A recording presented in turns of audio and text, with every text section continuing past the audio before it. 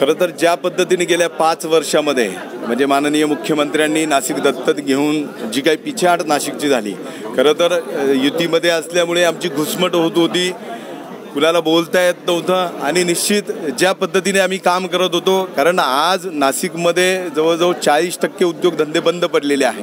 आणि अनेक उद्योगधंदे बंद पडण्याच्या म्हणजे मृतावस्थेत मृत अवस्थेत जाण्याच्या परिस्थितीत आहे. परंतु दुर्दैवाने मुख्यमंत्र्यांनी नाशिक दत्तक घेऊनही काम केलं नाही आम्हाला बोलता येत नव्हतं घुसमट होत होती. आणि त्यामुळे जर नाशिकचा नवे नवे तर महाराष्ट्राचा विकाय विकास करायचा असेल तर त्याला एकमेव पर्याय. आणि ते म्हणजे सन्माननीय राजसाहेब ठाकरे. आणि या विचाराने प्रेरित होऊनच आज महाराष्ट्र नवनिर्माण सेनेमध्ये प्रवेश केला आहे. शिवसेना का सोडली? सर शिवसेनेबद्दल काय नाराजी आहे की का तुम्हाला नाही मुळात? मुळात मला कुणावरती टीका करायची नाही. मी राजसाहेबांच्या विचाराने प्रेरित होऊन आलेलो आहे. परंतु जी काही मध्यंतरी आमचे संपर्क उत्तर महाराष्ट्राचे संपर्क नेते सन्माननीय राऊत साहेब यांनी जी काही एक उमेदवारी घोषित केली. आणि आम्ही पंच्याण्णवपासून शिवसेनेमध्ये काम करतोय. कुठेतरी निष्ठावंत कार्यकर्ते दुखावले आहे आणि त्यामुळे मी हा निर्णय घेतलेला आहे.